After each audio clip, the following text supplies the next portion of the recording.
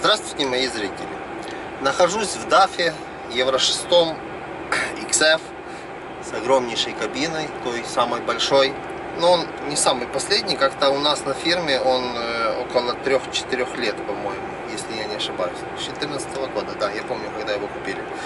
Это машина с механической коробкой передач. Ребят, э, несколько раз уже вы обращались ко мне по таким вопросам. Покажи, покажи коробку механика. Значит, потому что сейчас так, э, так автоматы все заполонили, что уже механики и днем с огнем не найдешь. Есть в ютубе, конечно, ребята, которые об этом рассказывают и показывают это, но вам всегда хочется такое увидеть от меня. Ну, я решил э, воспользоваться этим случаем, так сказать. Э, есть возможность, коллеги нету моего, я взял ключи и надеюсь, его позволения, покажу вам э, эту коробку в этой машине. Э, значит, ребят, то, что не говорят, к сожалению, почему-то в других видео, по крайней мере, я не нашел, очень важный момент. Значит, если у вас грузовик с э, механической коробкой передач, после того, как вы остановились и оставили машину на паузу, ну просто заглушили, уходите домой, да, или на ночь, в отличие от легковой машины, когда наоборот вас всегда учили оставить передачу коробку, то есть говорят машину на передаче, эта машина должна оставя, ставиться на паузу всегда в нейтральной передаче. Это очень важно, ребят. Объясняю почему. Потому что у большинства машин э, там идет воздушный привод на э, выключение, включение передачи. Да?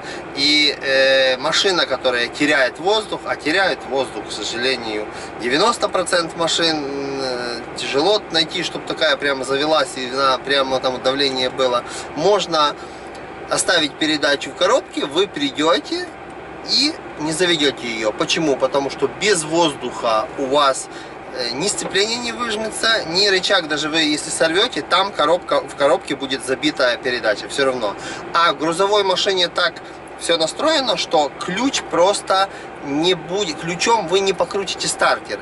Если компьютер видит, что передача в коробке, э, стартер просто не активируется. То есть вот этого прыжка, как знаете, можно было Жигуленок какой-то на передаче, э, ошибся, Э, полоснул стартером, а он прыжок вперед сделал, да, эта машина грузовая даже не будет щелкать стартером. Стартер не активируется и машина не заведется. Надо накачать воздуха, чтобы вытащить передачу. Поэтому оставляем всегда на нейтральной. Это раз. Второе. При езде на таком автомобиле, ребят, никогда, никогда, никогда не ставьте в нейтральную передачу, чтобы катило, чтобы экономить топливо. Э, во-первых, там э, специфика смазки коробки, э, она должна быть всегда в оборотах, чтобы правильно, я не буду в это углубляться, но в нейтральной она неправильно не, не идет полноценная смазка коробки. Там есть свой насос, это уже к механикам вопрос. Но это, ну, на, на небольших пробегах это не означает, что она клина даст. Но это для нее не очень позитивно. Второй момент это безопасность. В любой момент, я не знаю, капля воды или еще что-то может вас остановить двигатель. Вы сразу останетесь без гидроусилителя руля и без тормозов через два качка. И э, это может быть чревато тем, что впереди поворот, и вы не справитесь с управлением или не сможете остановить эту машину. Когда же коробка в зацепе с трансмиссией, то есть двигатель в зацепе с трансмиссией через коробку, другими словами, если всегда есть какая-то передача в коробке, машина даже заглохнув, продолжает крутить все навесное, Э, соответственно, работает и гидроусилитель, и работает, даже если подача топлива нет, и двигатель как будто заглушен, но трансмиссия проворачивает его, и все работает. То есть нету такого момента. Это две такие вещи, которые следует запомнить. Теперь давайте глянем на саму коробку, как устроена и как она работает.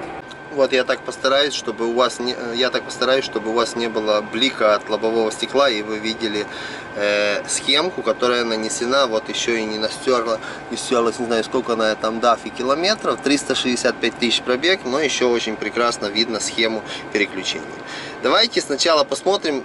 Очень хорошо, много людей, много людей садятся без опыта, и им очень хорошо запоминается, что передачи идут как в легковой машине. Смотрите, первая, вторая. Вот вы смотрите только на эти внутренние циферки. Первая, вторая, третья, четвертая. Но на самом деле передач есть больше. Э, то есть есть четыре места. Вот я, смотрите, выжил сейчас сцепление. Вот смотрите. Первая, вторая, третья, четвертая. Вот эти передачи на этих местах, как и в легковом автомобиле, до тех пор, пока вот этот флажок находится в нижнем положении.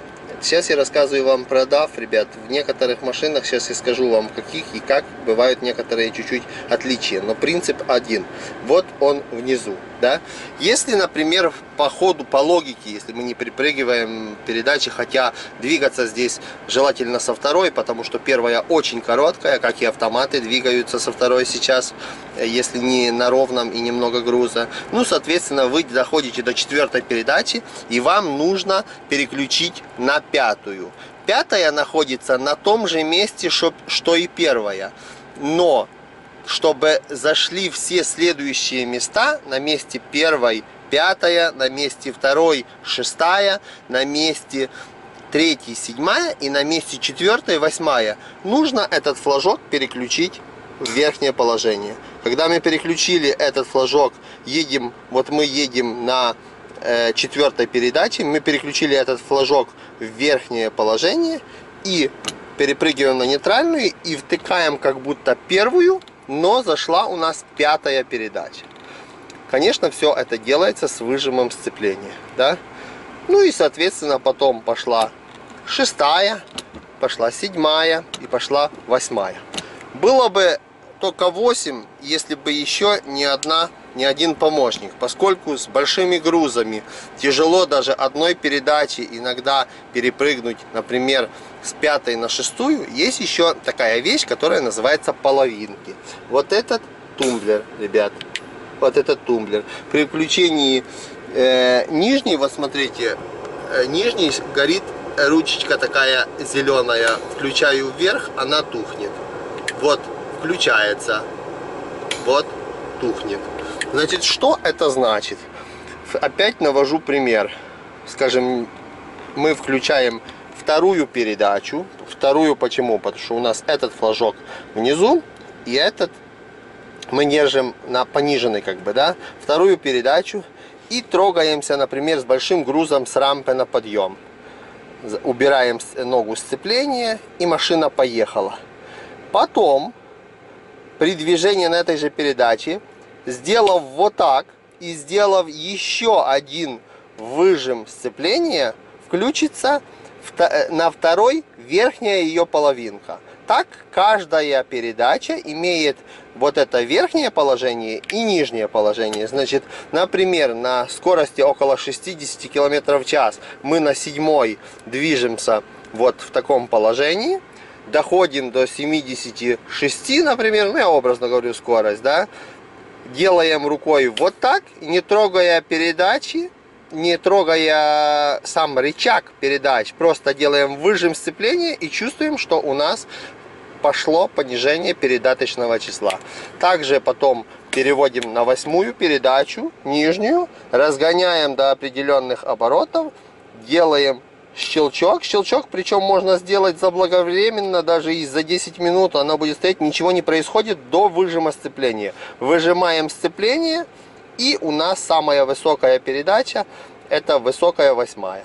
Если чуть-чуть, например, надо сбавить, не так сильно, чтобы переходить на седьмую, а просто чуть-чуть надо сбавить, достаточно опустить этот выключатель вниз и делать перевыжим сцепления, и мы почувствуем, что восьмой, восьмой половинки высокой мы опустимся, как говорят водители, на половинку, на восьмую пониженную. И все. Вот это как бы каждая из этих восьми передач, которые внесены, э, делится еще вот этими половинками. Да? Есть еще такой нюанс, что в DAFI 4, например, Volvo с механикой я ездил было 3. То есть уберем вот это место. Да? То есть по первых местах как бы первая, вторая, третья да, вот так как вы видите сейчас на схеме. Ну и соответственно потом уже э, цифры меняются, потому что уже идет четвертая, пятая, шестая. То есть мест 6 на, на тех же местах, а не 8. И, соответственно, также, также переключаются половинки. В Рено, например, вы найдете только один тумблер, только переключение половинок. И вместо этого, чтобы из первых четырех мест перейти на места 5, 6, 7, 8, нужно сделать вот такой удар рычага в сторону. То есть по линии нейтральной передачи, значит, значит в Рено вы доходите до четвертой, выходите на нейтралку, нужна вам пятая. Вместо того, чтобы поднимать этот флажок в дафе, а у вас нету этого флажка, делаете такой удар рычага вот так в сторону и слышите, и у вас уже вместо первой пойдет пятая.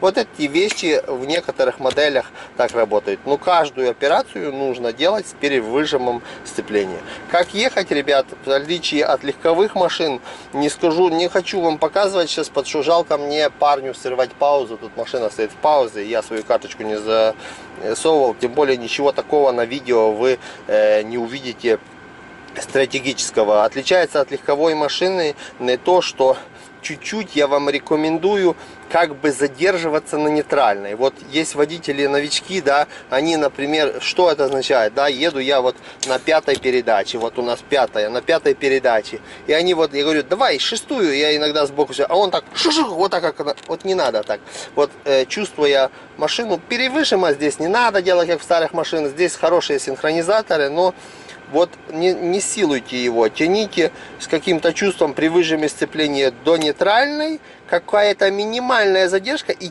и даете усилие руки, он сам почувствует, когда совпадут и зайдет шестая. Понимаете? Вот есть всегда в грузовой машине такая маленькая задержка на нейтральной. То есть это дает возможность улуч, лучше синхронизировать шестерни. Да? Вот если с пятой на шестую или, например, там шестую на седьмую. Вот выжил сцепление вот так и потом вот так. Вот видите, я сделал задержку. Они, они прямо вот так, как, как Формула-1, чтобы только на нейтральной задерживайтесь. Тогда езда намного мягче и лучше. Второй, э, второй как бы нюанс. В многих машинах, когда машина уже старая, разбитая, все, заднюю передачу он пробует включать, заднюю, она начинает такой прямо при выжатом сцеплении, как будто не выжил сцепление. Э, шестерня по шестерне. Если такое явление есть, Э, приехал вперед, остановился на месте, включите первую, чтобы остановить вал, а потом заднюю. И тогда у вас исчезнет, э, не будет просто вот этого э, шуршания по, по зубам. Ну, и это и неприятно, и, и портится оборудование. Все, ребят, я думаю, что здесь больше рассказывать нечего. Механические коробки на европейских траках работают вот так. Всего хорошего, будьте здоровы, до свидания.